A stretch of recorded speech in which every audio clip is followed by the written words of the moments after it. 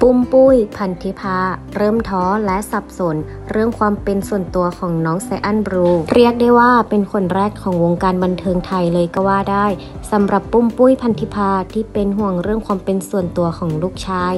โดยก่อนหน้านี้ได้ออกมาเปิดเผยว่าเคารพความเป็นส่วนตัวของลูก ไม่มีการโพสต์รูปของลูกชายลงโซเชียลโดยคุณปุ้ยบอกว่ารอให้ลูกโตก่อน และขออนุญาตลูกก่อนเท่านั้น โดยล่าสุดมีชาวเน็ตท่านหนึ่งได้ออกมาเปิดเผยข้อความที่ได้คุยกับปุ้มปุ้ย โดยชาวเน็ตคนดังกล่าวได้ส่งข้อความไปว่า ขอบคุณนะคะ ที่ทำให้บาร์ที่คุณทำต่อลูกมันยิ่งสูงขึ้น เป็นคุณแม่ที่พร้อมมากๆ ทั้งๆทที่มีลูกก็คงอยากอวดลูกให้คนอื่นเห็นว่า ลูกเรามันน่ารักแค่ไหน แต่เลือกไม่ทำ